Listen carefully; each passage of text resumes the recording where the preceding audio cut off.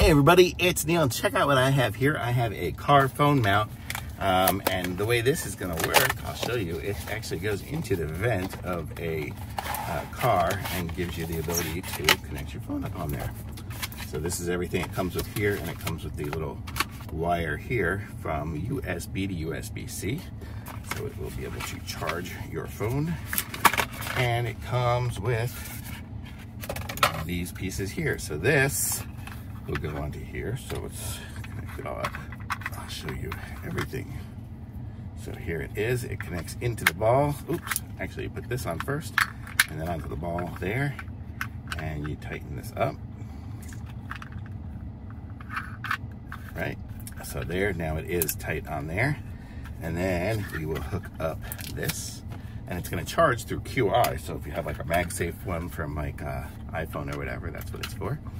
So there, so that'll connect up through that and that.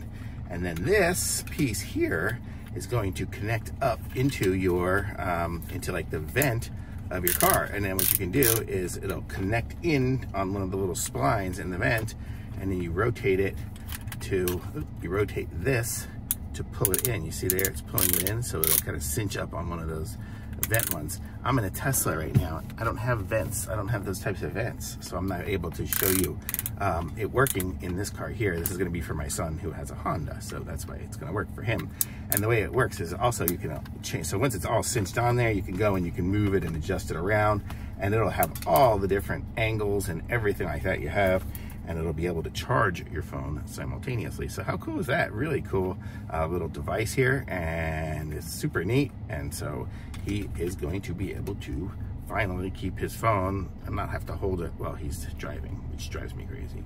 So don't drive, don't hold your phone while you're doing it. He has Bluetooth and everything, but he has to hold it. So it's just, uh, okay. So there we go. So, and it'll just magnetize on there and hold it on there. And I did try this a little bit before. It's got a really strong magnet, so it's gonna hold it on. I don't know no.